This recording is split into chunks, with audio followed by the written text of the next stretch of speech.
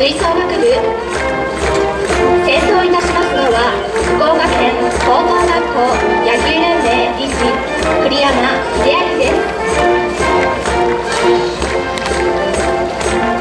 大会プラカード国旗大会旗連盟旗朝日新聞社旗を持ちます。のは小倉商業高校ソフトボール部野球部の皆さんです。